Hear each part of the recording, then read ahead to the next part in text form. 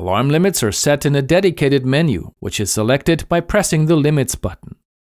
The alarm limits should be set after the ventilation parameters have been set and stabilized. Depending on the patient's condition, the limits have to be modified as required. A log of warnings and alarms, including the date and time of recording, is available by pushing the Show Log button. If the ETCO2 or SPO2 modules are activated, those alarm limit settings are accessed by pressing the related buttons. The alarm limits are also displayed in the numeric blocks close to the corresponding parameters. Critical events like ET tube occlusion are automatically detected by the ventilator. The ventilator will trigger an acoustic and a visual alarm, and the message Check ET tube will appear in the message window.